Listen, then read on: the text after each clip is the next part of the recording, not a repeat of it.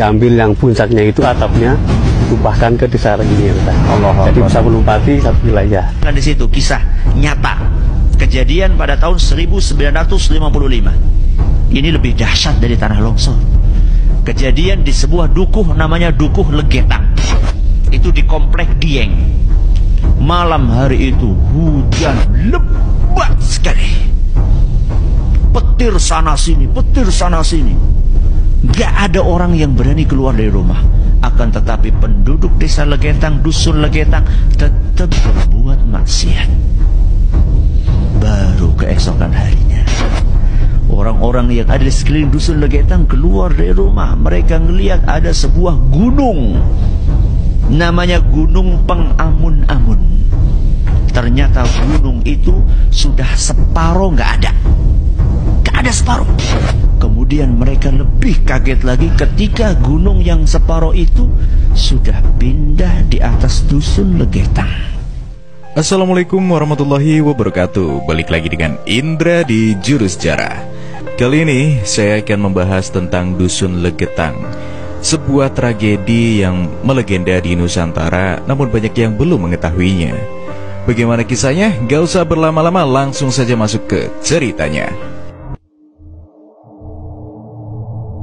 Ada sekelumit kisah nyata yang pernah terjadi pada bangsa ini yang mungkin kita telah lupa atau bahkan belum mengetahuinya. Dan sayangnya, peristiwa yang penuh dengan pelajaran ini sama sekali tidak disinggung sedikit pun di dalam buku pelajaran di sekolah. Banyak di antara kita tidak pernah tahu jika ada suatu dusun yang penduduknya nyaris sama dengan kaum Sodom Gomorrah. Senang bermaksiat yang terkubur seluruhnya dalam satu malam hingga tidak tersisa.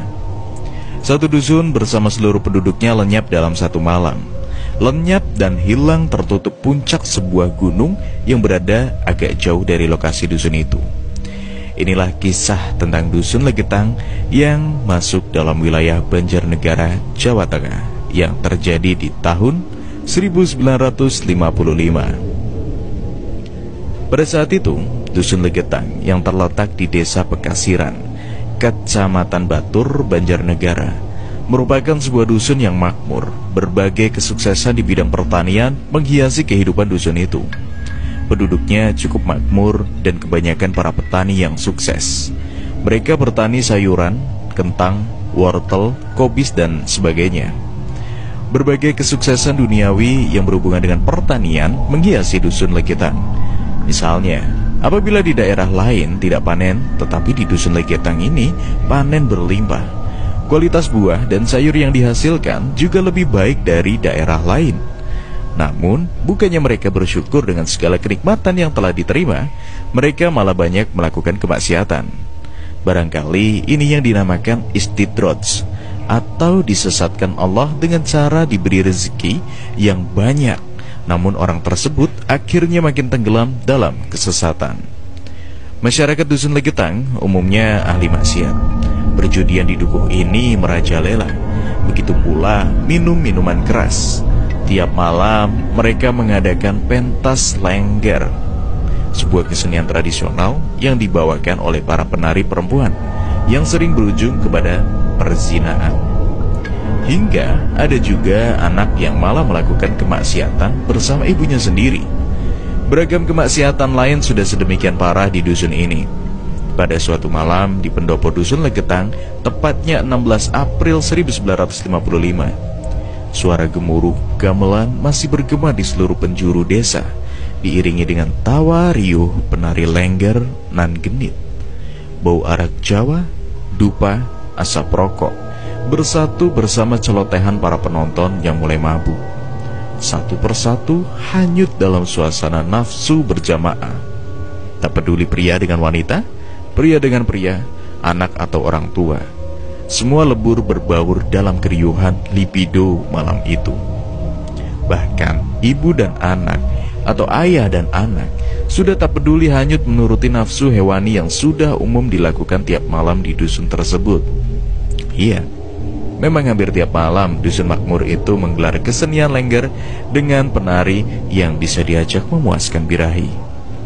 Semakin malam, semakin membaur antara suara dengung gong atau leguhan penari penonton. Tanpa disadari, di luar pendopo dusun, semakin malam rintik hujan turun semakin lebatnya.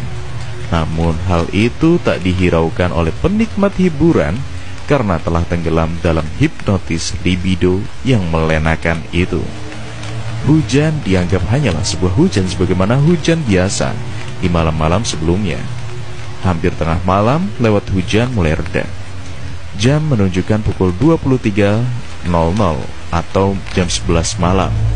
Tiba-tiba terdengar suara dentuman.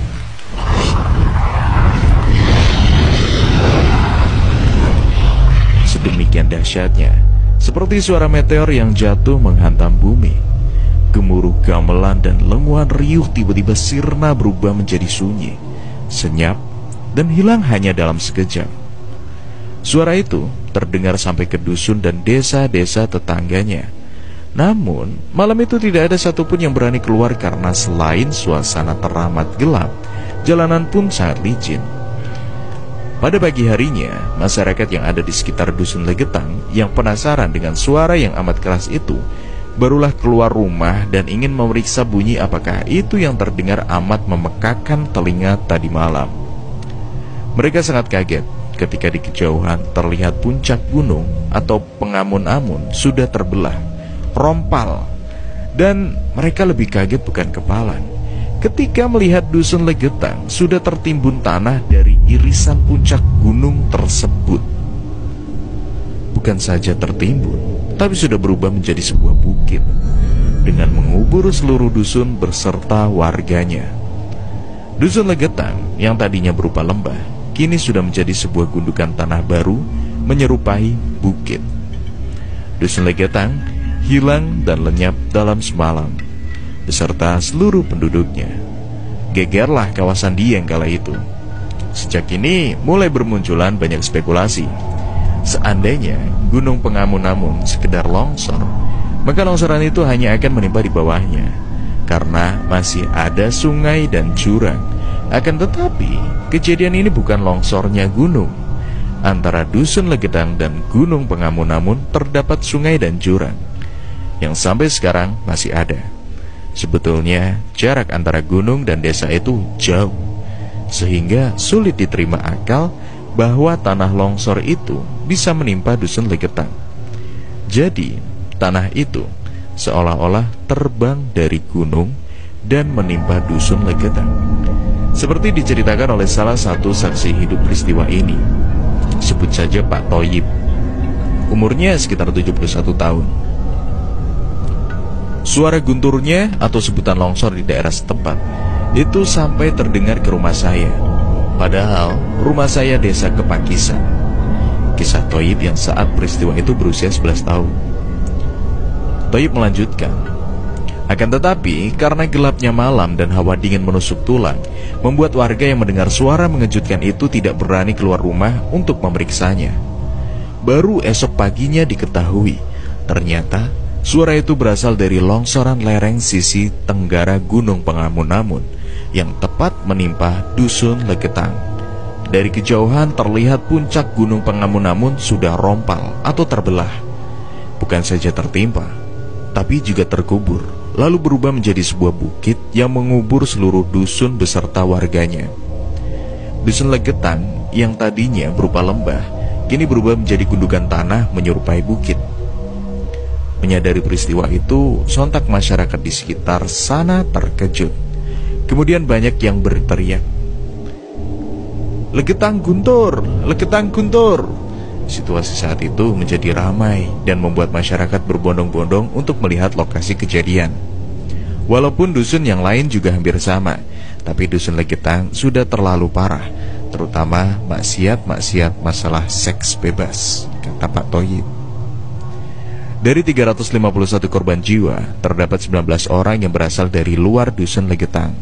Sementara itu, masih ada dua orang warga asli Legetang yang selamat dari bencana tersebut. Yang hidup cuma disisakan dua sama Allah Itu perempuan semua Mungkin disisakan dua biar untuk sejarah keadaan desa sini Tapi sekarang sudah meninggal